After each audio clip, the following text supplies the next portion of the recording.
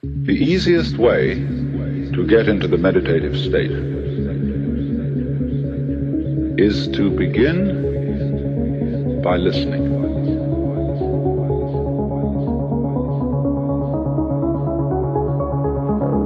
If you simply close your eyes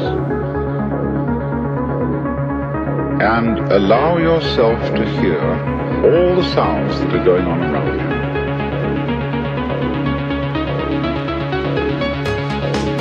Just listen to the general hum and buzz of the world as if you were listening to music.